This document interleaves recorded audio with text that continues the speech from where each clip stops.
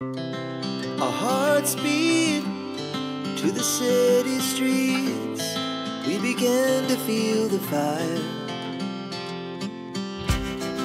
We rise like tall buildings as the chemicals they take us higher.